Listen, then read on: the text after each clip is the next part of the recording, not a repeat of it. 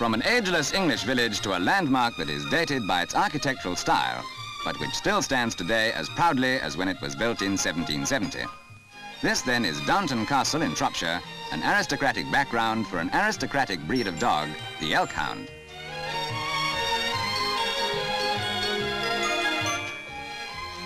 Elkhounds have been bred here since 1927 by Mrs. Kincaid Lennox, whose husband's family have owned the castle for nearly 200 years.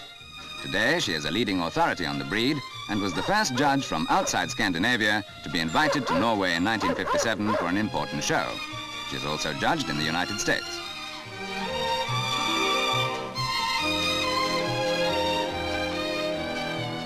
To the layman, an elkhound often looks like a shorter, stockier Alsatian, but in fact the breeds are entirely dissimilar, a typical characteristic of the elkhound being the curly tail.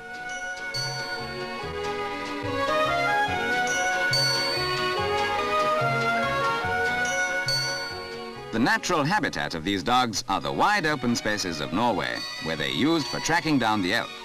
Consequently, the 10 dogs at present at these kennels need plenty of exercise, and the countryside nearby is ideal for this purpose.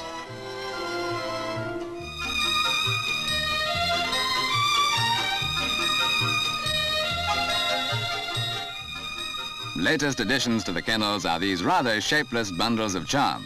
Of course, at 14 days, they could hardly be anything else.